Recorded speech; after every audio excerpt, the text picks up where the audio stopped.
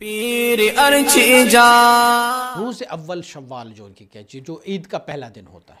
عید کے پہلے دن میں فجر کی نماز کے بعد سورہ یاسین پڑھتے اور پھر آپ مبارک جو ہے وہ اپنے گھر تشریف لے کے جاتے۔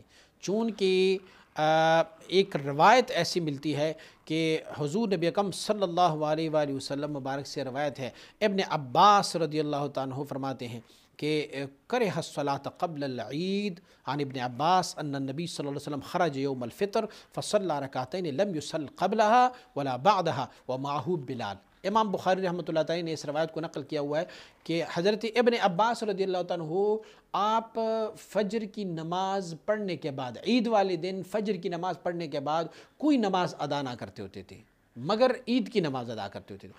تو کسی نے ان سے پوچھا کہ آپ کیوں ایسا کرتے ہیں؟ تو آپ نے فرمایا کہ حضور نبی اکم صلی اللہ علیہ وسلم یوم الفطر یعنی یکم شوال کو حضور تشریف لائے، تو حضور نے نماز جو عید کی ادا فرمائی، وہ دو رکعت نماز ادا فرمائی۔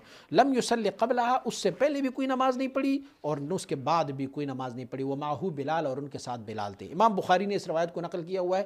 اس سے پتہ چلتا ہے کہ جو عید شوال کا پہلا دن ہوتا ہے یعنی عید کا جو پہلا دن ہوتا ہے، تو اس میں اشراق کی نماز نہ پڑھی جائے اس دن۔ تو حضور مبارک صاحب علیہ رحمہ بھی اسی پر عمل کیا کرتے تھے۔ اور رد مختار نے بھی اس کو لکھا ہوا ہے۔ رد المختار نے لکھا ہوا ولا تنفل قبلها مطلقا۔ قبل از نماز عید، اور بعد از نماز فجر کوئی اور نماز نوافل جو ہے وہ نہ پڑھی جائے۔